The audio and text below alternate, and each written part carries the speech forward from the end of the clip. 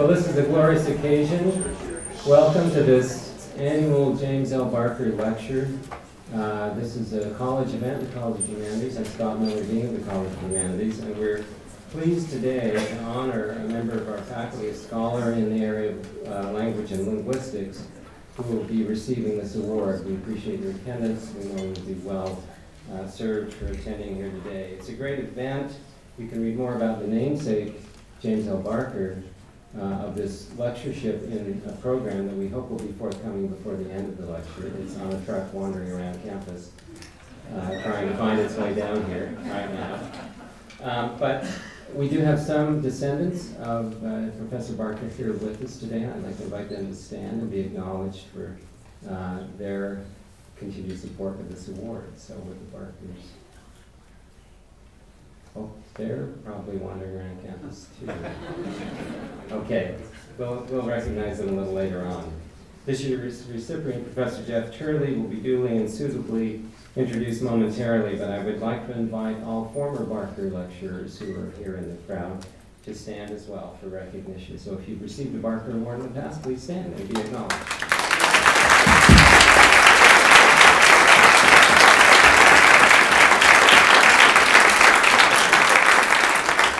We'll begin today with an invocation offered by Rob Smead, Associate Professor of Spanish Linguistics and a colleague of Professor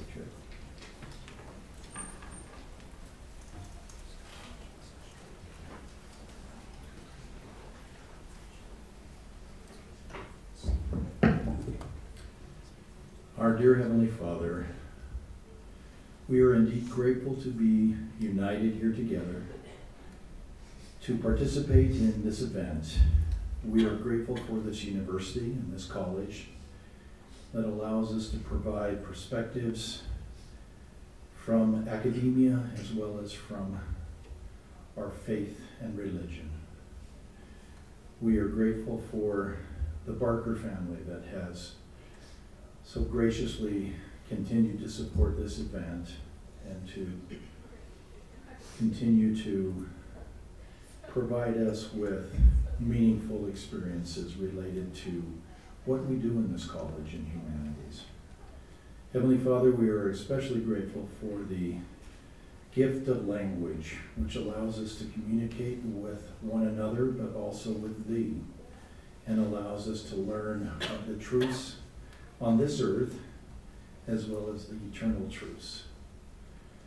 And we are lastly, but most importantly, grateful for Jeff Turley and his leadership, his collegiality, and the fact that he has been both a friend and a colleague to many of us for many years. And we are very grateful for him and for what he is continuing to do at this point as our department head.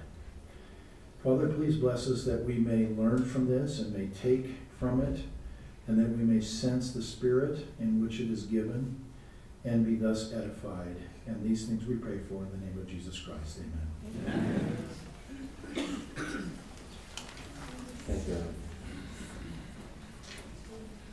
Uh, before Professor Turley's formal, int- oh, there is some seating over here in the side and the back, so if you want to go around. Uh, before his formal introduction, which will be offered by Willis Fails, a assist, associate professor of Spanish and Portuguese phonetics, I will present Jeff with the plaque that makes him the lecturer that is now then qualified to give the lecture. So, step.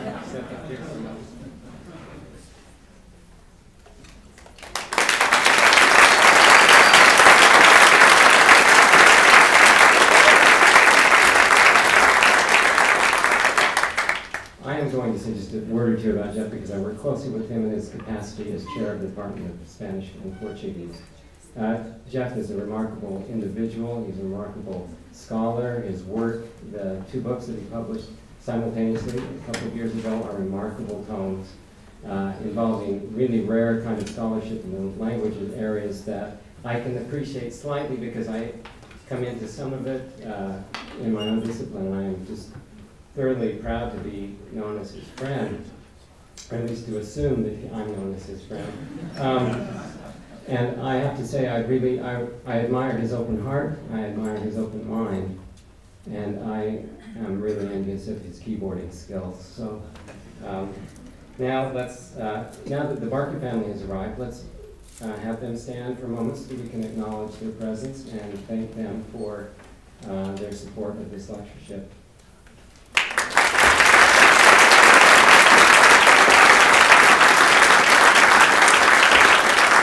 That has family members here. Would you raise your hand so that we can acknowledge you as well? Now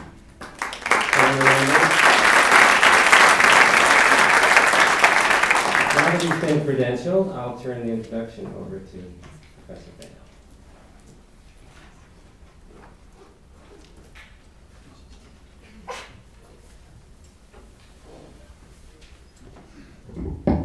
It's indeed a pleasure for me to introduce to you my good friend and colleague Jeff Turley.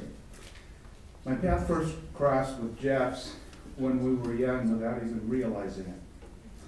Jeff grew up on Camorra Crest in Woodland Hills, California, right across the street from a Fails family that just happened to be my dad's double cousin. And so we lived in Northern California, but whenever we traveled south, we stayed with them and uh, went to church, played out on the street, and didn't even realize it. Um, with no idea of how our paths would cross in the future. Our paths next crossed when I was a young new professor here at BYU. In my third year, one of my students in Spanish 626, a course in phonology, was Jeff Turley. Bright, capable, hardworking, he was clearly, he clearly garnered the best in class status. Discussing it with him recently, he said, yeah, you only gave me a 99 on the final. I don't know. Uh, then he said he still has it, so. Uh, that fits with a plaque that uh, you'll see if you visit his office that was given to him by a student with a, a quote that he would often use in class. After responding to a question, he might, would say, I may be wrong, but I don't think so. uh, following the completion of his master's degree at BYU, Jeff was off to the University of California for his PhD. I clearly remember helping him load up for the move. Susie and I were talking about that this morning. Jeff began his career as a professor of Spanish linguistics at BYU over 30 years ago after completing his PhD in Romance philology from the University of California at Berkeley. He has taught a wide range of Spanish courses over the years, ranging from medieval Spanish literature to Spanish phonetics, usage, theoretical syntax, and the history of Spanish and the Romance languages. His scholarship is also broad in scope. His early publications centered on the Spanish pronoun system. He knows more than anybody about say, and if you've studied Spanish, you know that little tiny ubiquitous word. Uh, and uh, if you have any questions about how to say, say, or when to use it, ask Jeff. Um, but during the last uh, third of his career, he has concentrated on transcribing and translating early modern manuscripts dealing with the Iberian expansion in Asia. His two most recent monograph-length publications are first, the transcription and translation of the so-called Boxer Codex, a 16th century Spanish language anthology that was produced in the Philippines and which describes 16 Asian polities. And second, a translation of a lengthy and substantive 17th century memoir by Garcia de Silva y Figueroa, Spanish ambassador to the Shah Abbas the first of Persia. Over the years, Jeff and his family have forged close ties with students while directing study abroad and internship programs in Mexico, the Caribbean, and Spain. His hobbies include playing keyboard instruments, classical and jazz, and hiking, cycling, and rock climbing, with his wife Susan Quedman, also an accomplished pianist and vocalist. I give you Jeff Turley.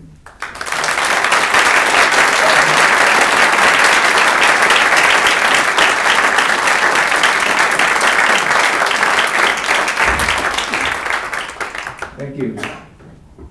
Uh, Willis and and Rob, we've been friends and colleagues for 40 years or so. It's 40 years of wandering in the wilderness of Spanish linguistics together. Thank you guys so much. And the, uh, the descendants of James Barker, the, the Blackhursts who are here, they're, they're my friends and neighbors for a long time. So um, it's, it's sweet to have that connection with them today. Um, so the question that I would like to pose today is why do some language errors catch on and become permanent, while others sort of vanish without a trace? For example, the name of Key West in Florida came about as a misunderstanding of Spanish Cayo Hueso, which means bone cay. A cay is a small, low island made of sand or coral. It was called Cayo Hueso by Spaniards who discovered that the island had been the site of an indigenous graveyard. Many years later, when English speakers encountered the word hueso, they heard west and started ca- calling the island Key West. Surely at some point, somebody, maybe even a, even a balding Spanish professor, must have pointed out that hueso means bone, not west. But for some reason, the mistake became permanent, the official name of the island.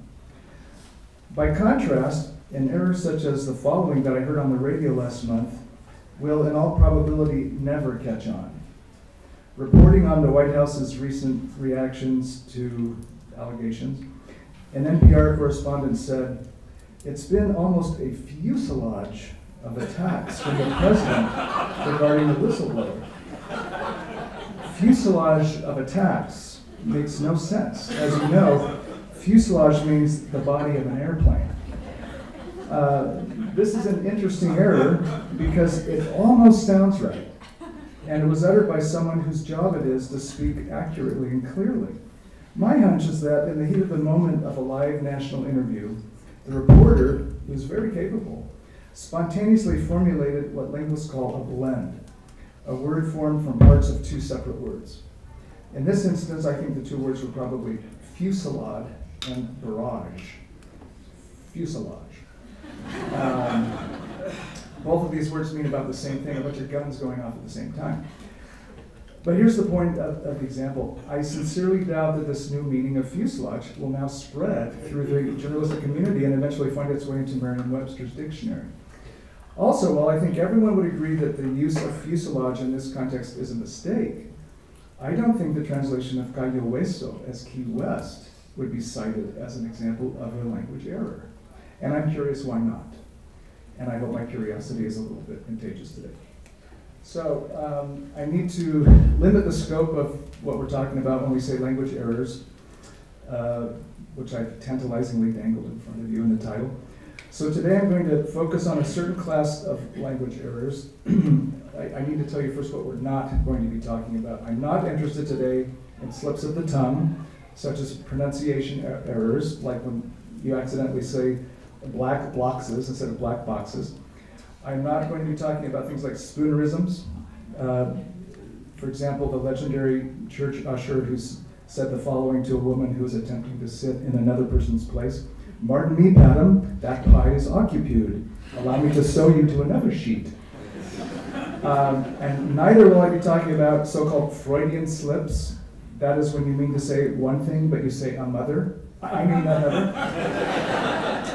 And finally, I will not be concerned with usage errors like irregardless or I could care less, or with non-standard or dialect errors such as I seen, we was, ain't never done nothing like that, or she's got a ticket to ride, and she don't care. What I am interested in are errors that occur when someone misunderstands or misperceives a word or phrase and then reproduces that misunderstanding in their linguistic production. And I'm interested in why some of these errors, like Key West, take root and flourish, while others, like a fuselage of attacks, die on the vine. The process involved in the creation of the kinds of mistakes I'm interested in today can be described very simply. First, someone encounters a word or phrase that for some reason is unfamiliar to them or seems unsuitable, perhaps because it's illogical or not expressive enough. And so they alter the expression to improve it or fix it. That is, they change the form of the word so that it matches something more familiar to them or that seems more appropriate. This fixing requires that the two words be phonetically similar for the sake of continuity. If the new and improved word or phrase catches on and enough people adopt it, the change becomes permanent and general. So here's an example. Uh, in the 18th century, people from England living in India during British rule encountered the Hindi word sir sakar. I'm just making up the pronunciation, I don't know how that is. Uh, to describe a kind of striped, light, puckered cotton fabric, like you see here. A critical mass of, of um, let's see, where am I? Oh, sorry. This word had originally come from Persian shir o shakar, literally, again, making that pronunciation up, literally milk and sugar the milk representing the smooth parts of the fabric and the sugar the puckered parts of the fabric. A critical mass of English speakers changed seersucker to seersucker, even though the fabric had nothing to do with sears or suckers. Uh, but not knowing Hindi, speakers preferred seer and sucker because they were more familiar to them. Linguists have a name for this process. It's called folk etymology. Uh, this is obviously not an ideal term because it doesn't seem to match the process I just described. This phrase or term folk etymology is actually a direct translation of French étymologie populaire and German Volksetymologie, and like many direct translations, it is not optimal.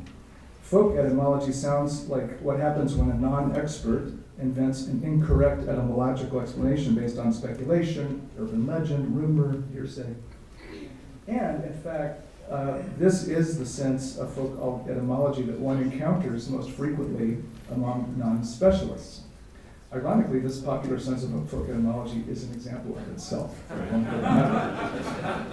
in a moment, I'll describe the more technical sense of folk etymology, but first, let's look at an example of the popular non-technical understanding of the term so we're clear about what I'm not going to be talking about. The origin of the Spanish word gringo has always resisted explanation. One frequently repeated story that I bet a bunch of you could tell me right now, because you probably heard it, is that during the Mexican American War, when Mexican soldiers heard American soldiers incessantly singing the popular song Green Grow the Rashes O, based on a poem by Lord Byron, or the Irish folk song Green Grow the Lilacs, uh, that they interpreted this green grow phrase and, and, and Mexicanized it to, to gringo. Um, the problem with that explanation is the word was already 200 years old that and that's documented in Spain.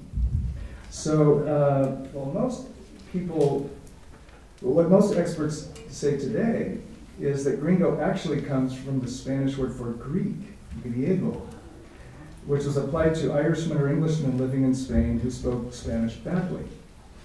The idea is that their Spanish was so bad it might as well have been Greek. So this is an interesting piece of uh, oh wait, there's a, an interesting piece of evidence corroborating this. So this is a line from a story written by a 19th century Spaniard, Antonio Flores, and it says, "Pues mujer, hablo yo latino gringo, no te he dicho que muchas gracias," which means, "Woman, am I speaking Latin or Greek?" Haven't I said thank you very much? So the word gringo actually means here Greek.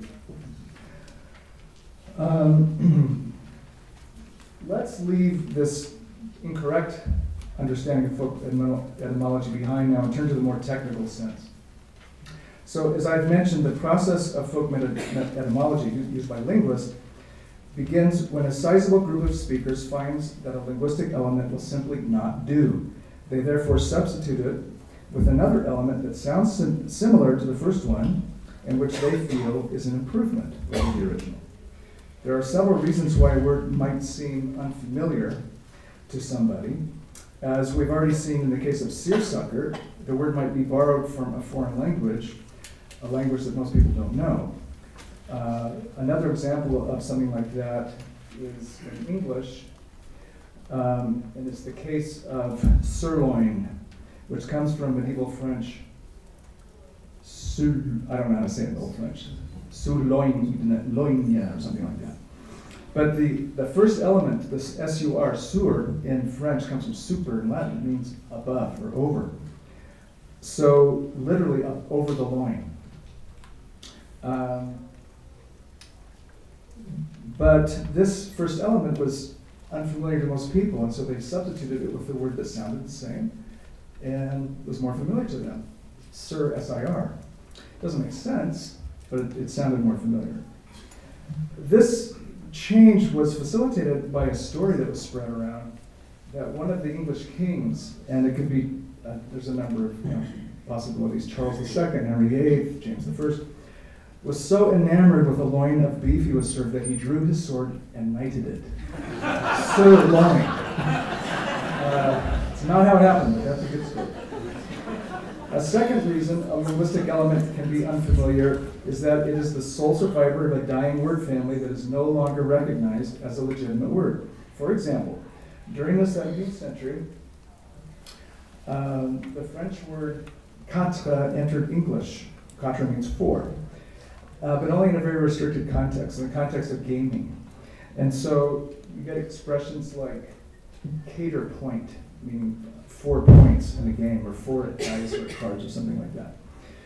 Eventually, this word became associated with the four corners of an intersection, and finally to the procedure of cutting diagonally through the intersection. Hence, cater cornered.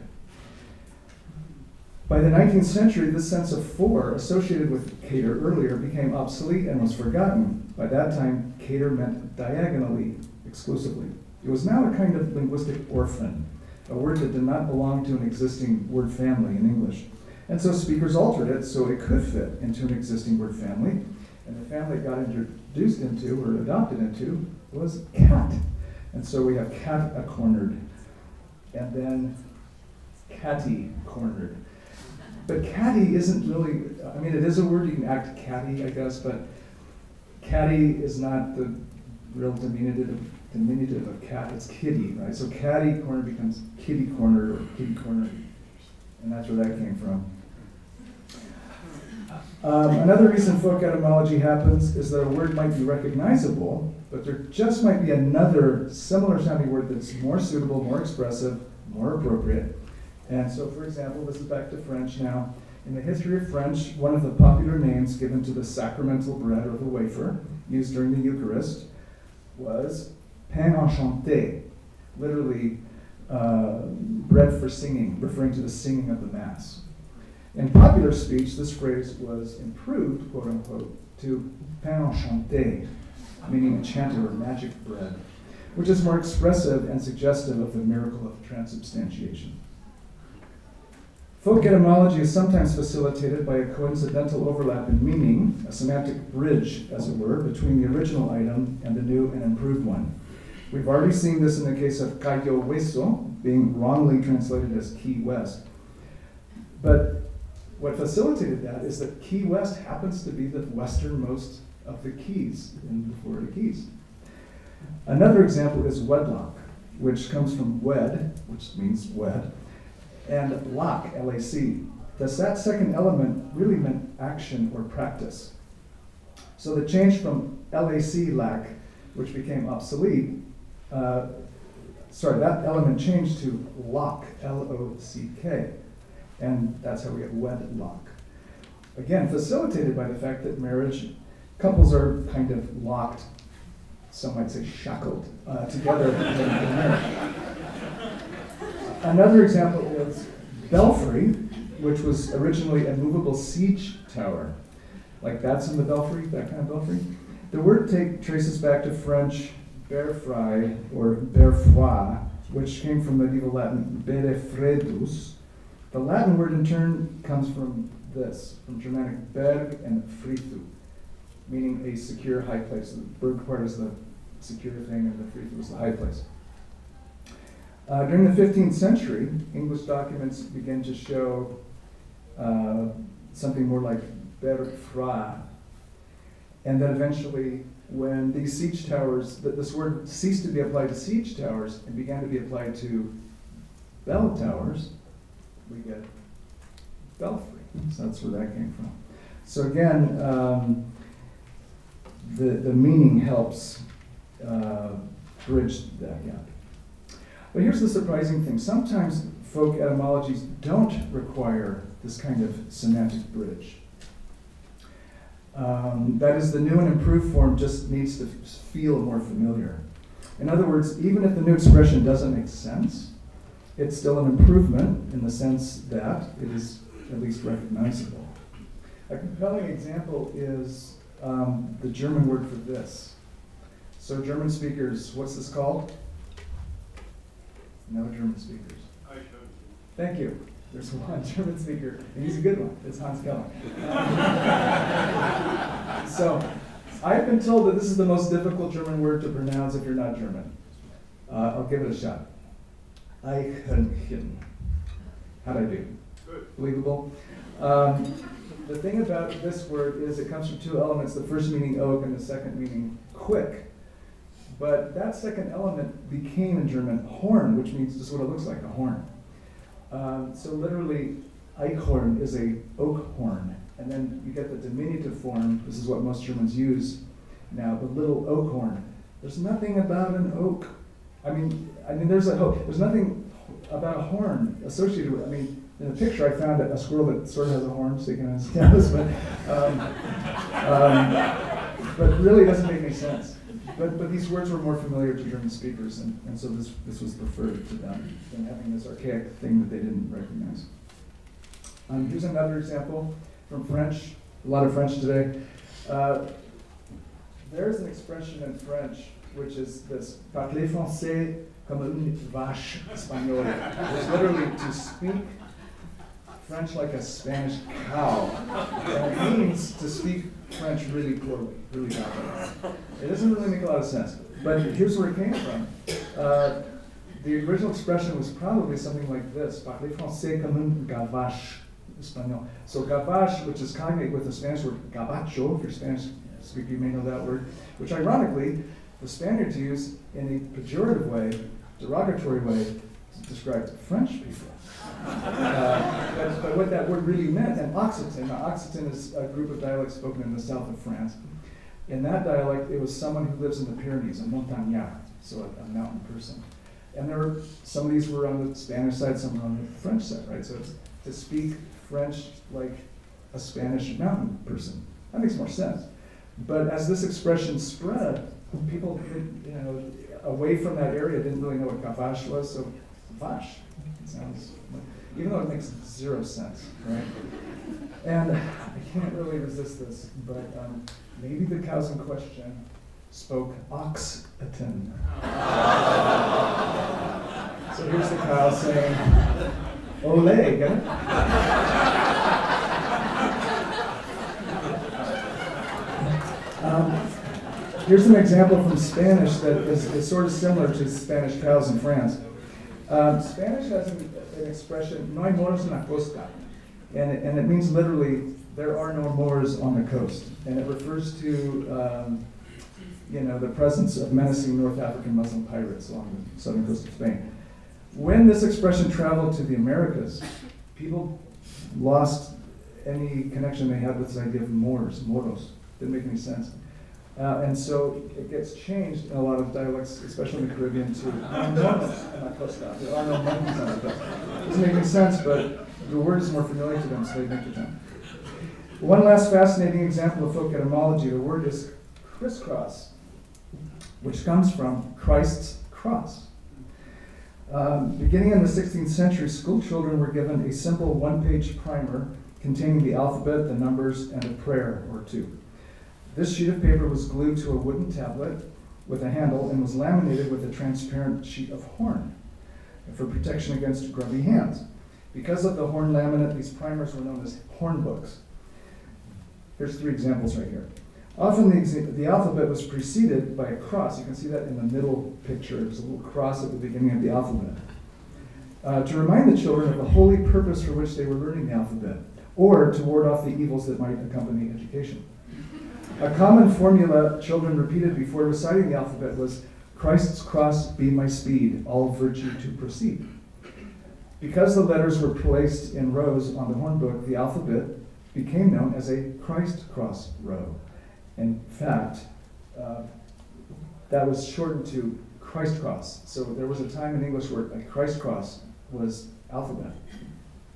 This was shortened to Christ cross and then crisscross. And I didn't mean for there to be a, a TM symbol there. Uh, that's to indicate the vowel shift from Christ to Chris, which was normal in the history of English as part of what's called the Great Vowel Shift. Um, so, thus, in 1635, Francis Quarles could make the following didactic play on words Christ's cross is the crisscross of all our happiness, meaning the cross of Christ is the ABCs, the beginning, the foundation of our happiness. Now, the spelling of the first element of Chris was altered. Uh, oops, sorry. Uh, to to crisscross, and um,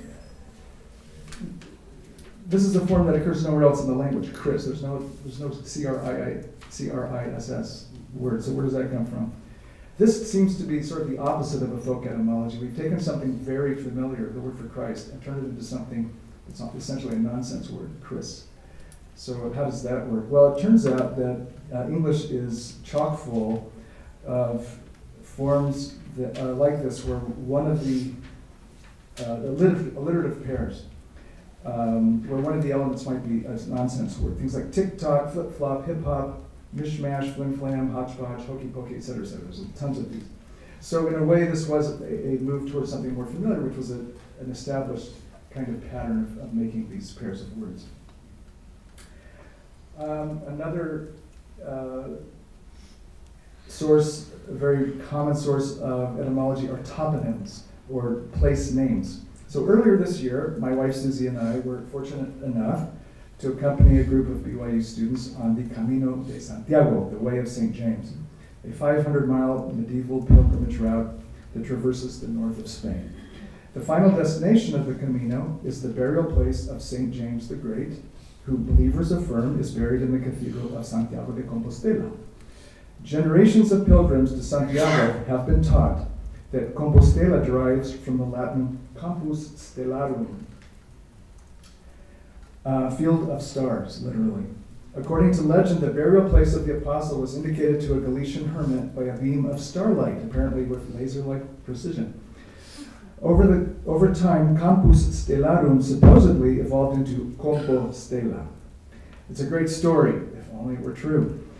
But alas, this etymology is actually impossible because the first syllable of Compostela, the co sound, could not possibly derive from the ka of campus in any dialect in the Iberian Peninsula.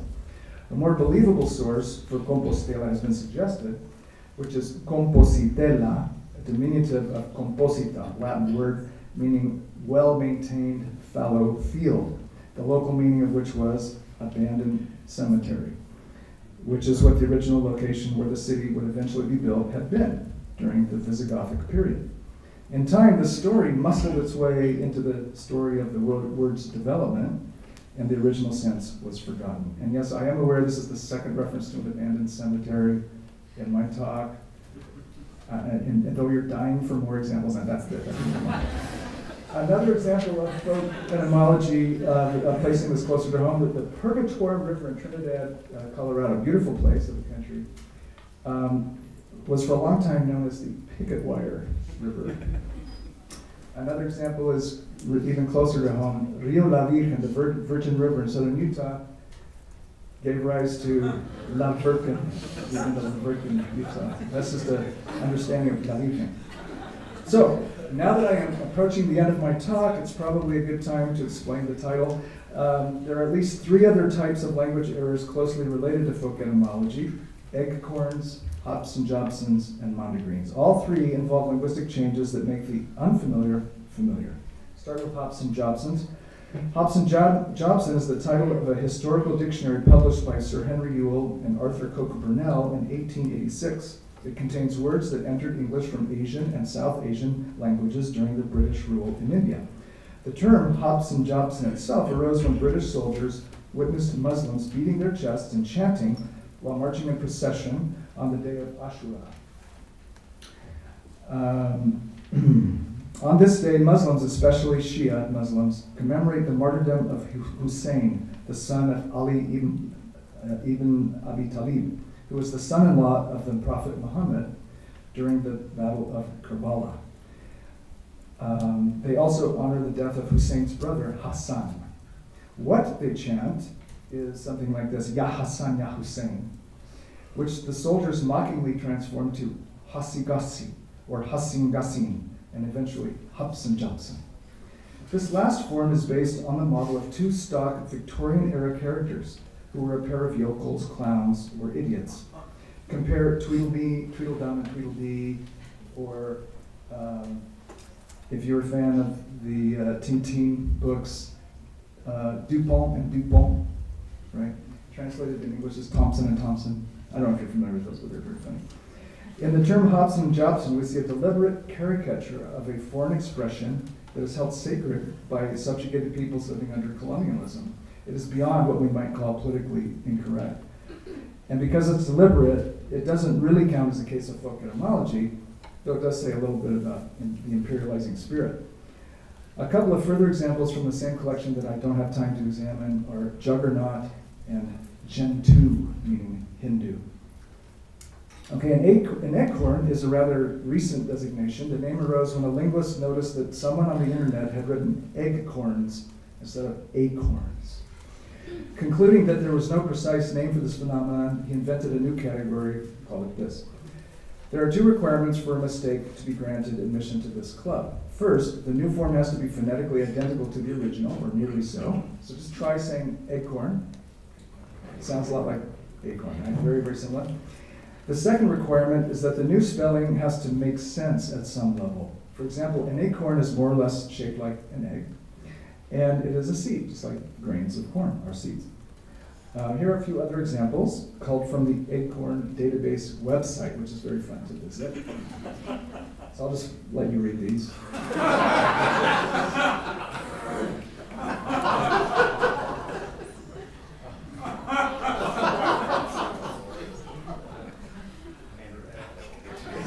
So these examples are idiosyncratic.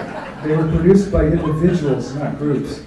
But some eggcorns have become general enough that it is not impossible for them to make their way permanently into the English lexicon.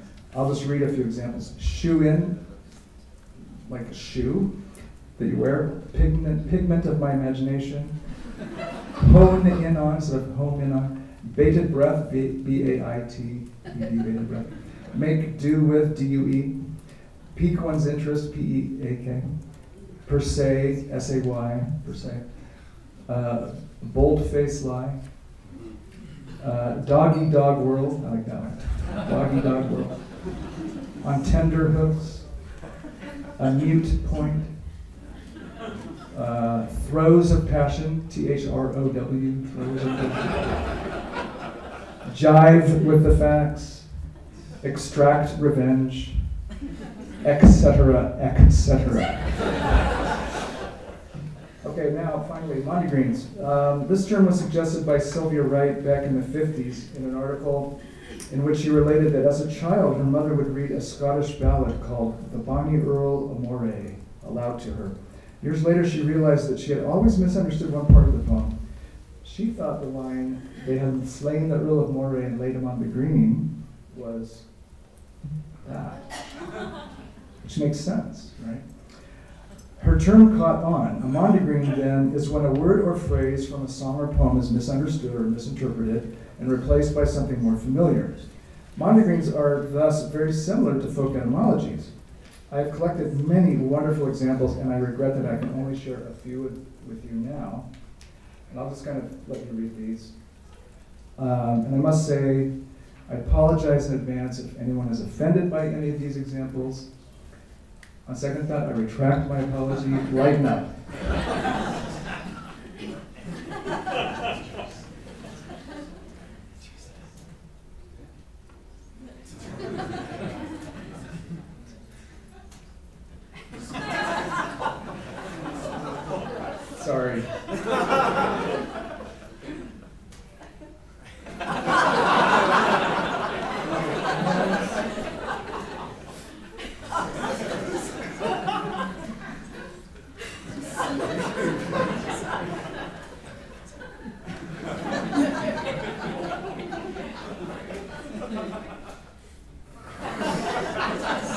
And then, some more.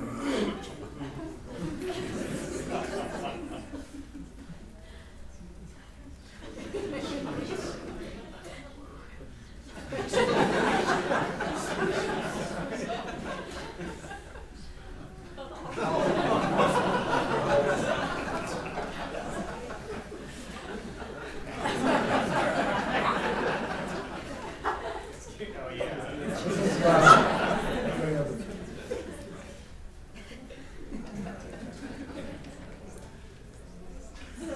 Okay. Um, a lot of these were collected from the mouths of children, and so I also collected a few kids speak errors. I limited myself to errors produced by people in my own family or close friends. Um,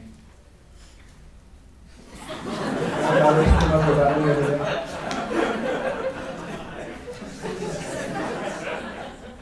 Right, let's see. This is my daughter when she was little, she said this. My grandson came up with this one. Makes sense, right? If you don't know what a note is, it's eat meal. Uh, our daughter said this when she was little and it stuck. We still say this in our family.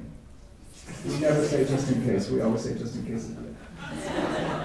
And uh, my grandson, the one that came up with eat meal, uh, his father's name is Josh. And so when he heard people saying, oh my gosh, he thought they were saying, gosh, and that became a pattern for him. So he started just putting everybody's name in there. He said, oh my Rachel, oh my Nico. and finally, um, grandma was.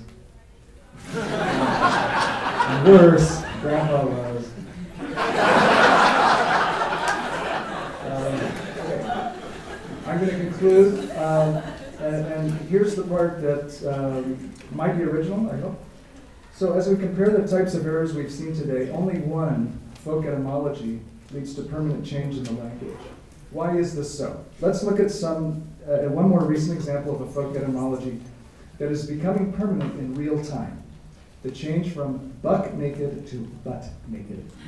Again, sorry, not sorry.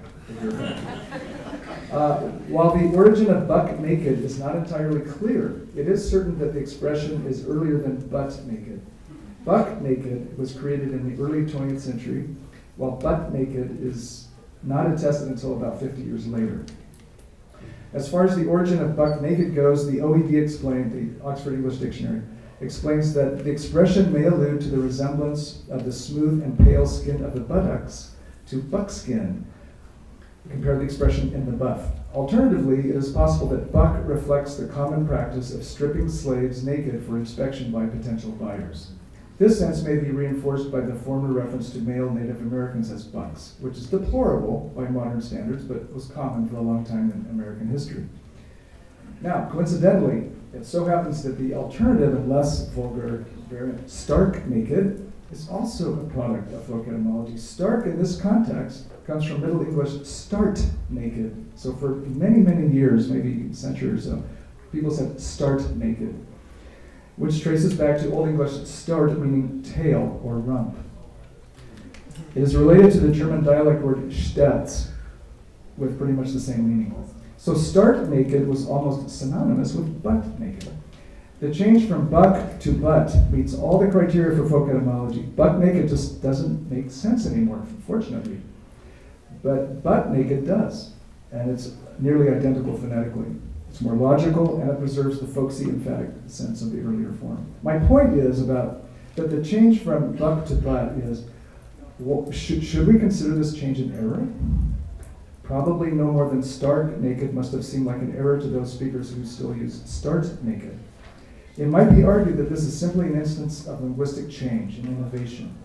But from the perspective of older speakers, I'll bet that butt naked feels like an error in the same way that I'm sure everyone in the room feels that pig- pigment of her imagination is an error. If a, if, a, if a member of my generation were to point out to a younger person that butt naked has changed over the last 20 years or so, they might acknowledge the fact. But will that knowledge persuade them to renounce their generation's word in favor of an earlier correct one? Or conversely, even if a person from my generation were persuaded that a sizable majority of speakers of American English now say butt naked, is that old person likely to stop saying buck naked and switch over to butt naked? Probably not. And their reasons might be that they are too proper or polite to use that word, but they also might feel that it's simply incorrect.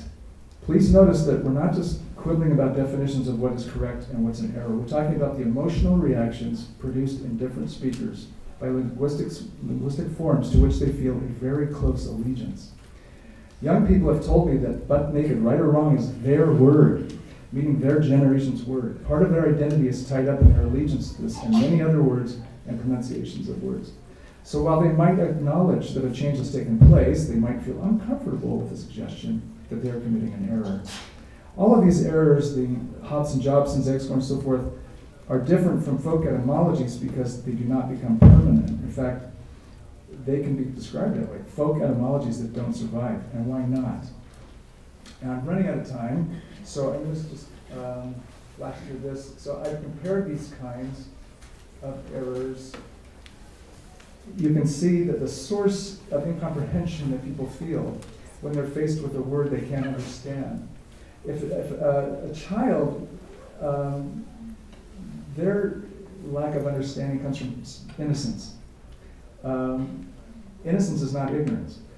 We know that children will someday, someday be, become more knowledgeable, more sophisticated, and they won't say things like just in case of the the rest of their lives. They'll, they'll overcome that. But a person that says, you know, a mute point, they're pretty much stuck there. And that's ignorance. And, and we, as more educated speakers, we judge them. And we're annoyed. I mean, that kind of error is just annoying, right? But a kid that says just in case of yeah, that's funny.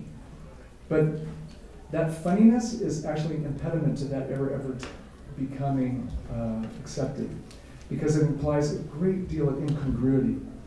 Um, whereas uh, something like caterpillar, you know, that's that's going to be. Did I talk about caterpillar? I didn't talk about caterpillar. Well, uh, you know, seersucker, something like that. There's there's continuity. It's not a big shift. It's not a big jump that one has to take. So. Um,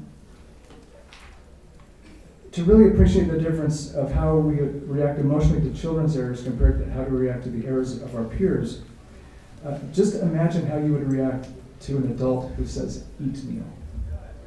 Not so adorable anymore, is it? Uh, now recall the history of sirloin. What are your emotions regarding the change from sirloin with a U to sirloin with an I? You're not nearly as irritated by that as you would be by someone who says, for all intensive purposes. Because the reason English speakers who made this change were confused by sirloin was not their damnable ignorance, but their excusable ignorance. In other words, this is my final point. Folk etymologies catch on because they fix a problem. They take something that's incomprehensible and they fix it. They, they supply a reasonable error. And errors, and, and these new words, they don't come about from one speaker who had this brilliant idea. You know, uh, let's call seersucker, seersucker, and then spreads to everybody. Something like uh, an error like this that becomes general makes sense. And it probably occurred to a lot of people in a lot of places, and that's why it caught on. I was going to tell you about humble pie, but I'm going to eat humble pie and not do that. Um, so let me conclude with this. Um, if a particular social behavior becomes widespread and acceptable enough, it ceases to be censored, no matter how previous generations may have felt about it. In linguistics, we talk about etymological changes using the metaphors of natural selection. One form evolves or develops from another. Some forms survive while others become extinct, etc. This metaphor works because since the work of the 19th century so-called neo-grammarians, linguistic change was seen as natural and inevitable, in the same way biological evolution was. But in one very important way, biological evolution and linguistic evolution are different. There is no sense in which an evolutionary development could be thought of as a mistake. But all linguistic innovations must have been perceived as wrong, at least to some members of linguistically conservative groups who resisted those innovations. Their eventual universal acceptance masks this fact, as does the passage of time. A Latin maxim states, Factum valet quod fieri non debuit. What ought not to be done becomes valid when it is done. Thank you very much.